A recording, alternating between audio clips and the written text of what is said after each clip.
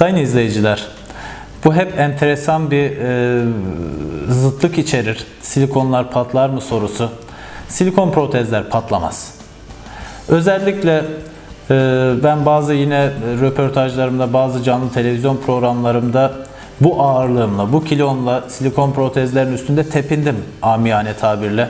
Ancak silikon protezler böyle durduk yere veyahut bir yere çarpmayla veyahut partnerinizin sıkmasıyla patlayabilecek materyaller değildir. Onun için silikon protezlerin patlamasıyla alakalı olarak kafanızda herhangi bir soru işareti oluşmasın. Silikon protezler patlamaz diyebilirim. Silikon protezleri vücudun kabul etmemesi durumu söz konusu olabilir mi? Bu da yine enteresan bir tablo. Silikon normalde vücudun kabul ettiği inert bir materyaldir. Normal şartlar altında vücut silikon materyal, silikon protezlere karşı, silikon materyaline karşı reaksiyon oluşturmaz ve kabul eder.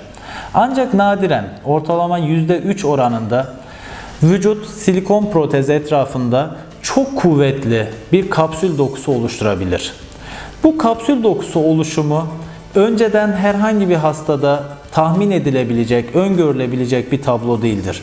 Ancak bunun tedavisi var mıdır? Yani bir kapsül kontraktürü olduğu zaman vücut çok abartı reaksiyon gösterdiğinde o zaman bizim silikon protezi çıkartıp bu kapsülü temizleyip daha değişik natürde, daha değişik karakterde bir silikon protez yerleştirmemiz gerekir ve bunu bu şekilde tedavi etmiş oluruz. Dolayısıyla özet olarak silikon protezler patlamaz.